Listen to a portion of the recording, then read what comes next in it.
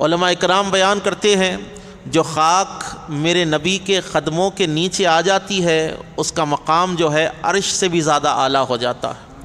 اس کا مقام عرش سے زیادہ اعلیٰ ہو جاتا ہے۔ کس لیے؟ میرے سرکار کے قدموں سے جس کو نسبت ہو جاتی ہے، قدموں سے جس کو نسبت ہو جاتی ہے۔ اسی کی دلیل میں قرآن مقدس ارشاد فرما رہا ہے، لا اقسم بحاظ البلد۔ اے حبیب، قسم ہے اس شہر مکہ کی جس میں آپ چلتے ہیں۔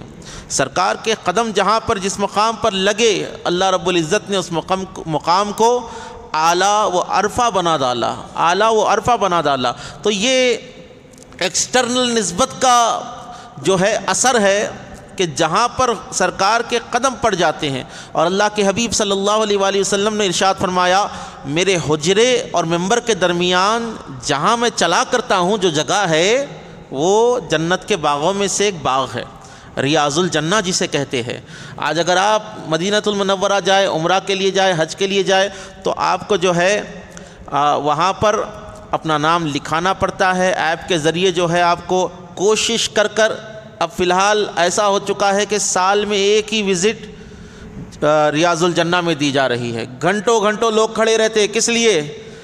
وہ ٹکڑا، وہ خطہ زمین کا میرے نبی نے کہا کہ میرے حجرے اور ممبر کے درمیان جو جگہ ہے، وہ جنت کے باغوں میں سے ایک باغ ہے۔ کیا ہے؟ جنت کے باغوں میں سے ایک باغ ہے۔ حضور جہاں پر چلتے ہیں، سرکار کے قدم جہاں پر زیادہ پڑ جاتے ہیں، اللہ تعالیٰ اس زمین کے خطے کو جنت بنا دیتا ہے۔ جنت بنا دیتا ہے۔ اب تھوڑا سا تصور فرمائیں ایکسٹرنل نسبت کا یہ اثر ہے۔ ظاہری نسبت کا یہ اثر ہے، قدمان مبارک پڑ گئے تو زمین کا حصہ جنت بن گیا۔ تو سوچیں، حضور کی انٹرنل نسبت کا عالم کیا ہوگا؟ حضور کی اندرونی نسبت کا عالم کیا ہوگا؟ حضور کے قدمان مبارک پڑے تو زمین جو ہے جنت کا خطہ بن گئی، ریاض الجنہ بن گئی۔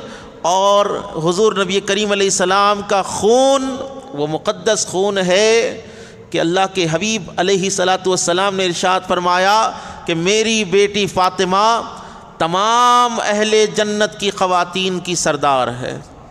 خواتین کی سردار ہے۔ اللہ کے حبیب صلی اللہ علیہ وآلہ وسلم نے ارشاد فرمایا کہ میری بیٹی فاطمہ تمام کائنات کی عورتوں کی سردار ہے۔ اب توجہ آپ فرمائیں حضور کی ظاہری نسبت جب زمین کے خطے پر پڑ جاتی ہے، تو وہ خطہ ریاض الجنہ، جنت کا باغ بن جاتا ہے۔